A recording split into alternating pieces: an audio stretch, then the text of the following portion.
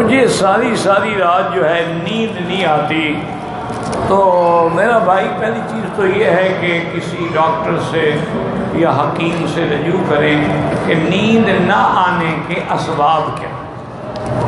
اور دوسری بات یہ ہے کہ آپ درو شریف پڑھتے رہیں۔ جو بھی آپ کو قرآن شریف کی صورتیں یاد ہیں، وہ پڑھ ان شاء اللہ ان کی برکت سے کیونکہ پھر شیطان جاگر نہیں دیتا، پھر سلا دیتا ہے۔ وہ کہتے ہیں، یہ اللہ کا کام نہ کرے۔ دیکھو نا، فلم پہ بیٹھو، ساری رات پلک نہیں جھپکے گی۔ قرآن پڑھنا شروع کرو تو فوراً جنابوں گانی شروع ہو جائے گی۔ تو بہرحال، اصل اصل علاج بھی کراؤ اور اسی نیت سے زمزم پیو، سر پہ ڈالو، منہ پہ ڈالو۔